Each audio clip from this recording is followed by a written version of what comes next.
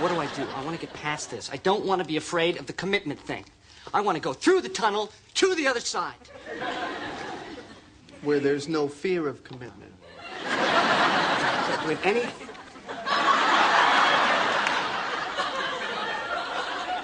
Do we have any thoughts here? Well, I've never been through the tunnel myself, because as I understand it, you're not allowed to go through with more than one girl in the car, right? but it, it seems to me it's pretty much like anything else, you know? Face your fear. You have a fear of heights? You go to the top of the building. You're afraid of bugs. Get a bug. right? In this case, you have a fear of commitment. So I say you go in there and you be the most committed guy there ever was. Amazingly, that makes sense. Do you think? Oh, yeah. Go for it, man.